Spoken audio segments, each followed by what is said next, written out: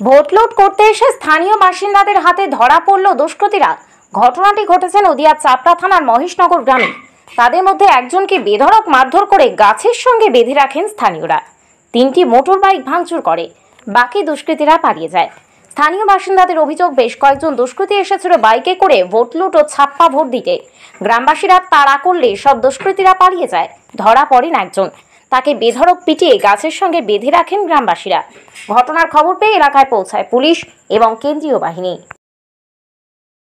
আমাদের অভিযোগ হচ্ছে যারা হাটরা থেকে লোক এসেছিল, ওরা আমাদের গ্রামে ভোটে ভোট শান্তিভাবে ভোট ভোট হচ্ছিল।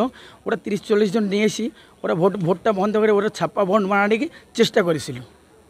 তারপরে ওরা গ্রামের লোক ওরা অ্যাটাক করেছিল যে কেন ছাপ্পা ভোট মারা হবে? আমাদের সব জোয়ান জোয়ান ছেলের ছেলেমেয়েরা ভোট দিচ্ছিল। সিমেন্টের প্রার্থীরা সবাই এসে ওখানে দাঁড় করেছিল, ওদের এটকে দিয়েছিল। তারপর ওরা ওরা নিজে নিজে ঢাকা ঢাকুন মেরে পেলে গিয়েছে মোটরসাইকেল ছেড়ে, গেলাম। তারপরে ওরা ওরা কী করছে? ওরা ওরা বলছে যে আমরা অমুকজনের লোক যখন ধরা পড়ে। বলে যে আমি অমুকজনের লোক হাঁটরা থেকে আমি পেটেছি। ওরা ওইখানে এখানে ভোটটাকে ভোটটা দখল করে নাকি? ওরা বোমবাজি দু তিন জায়গায় করেছে। নতুন গ্রামে ওরা আরেক জায়গায় করেছে এই মহিষনগর করতে পারেনি। এখানকার লোকে অ্যাটাক করে ওদের তেড়ে দিয়েছে। আপনার নাম? আমার নাম আজগার মণ্ডল।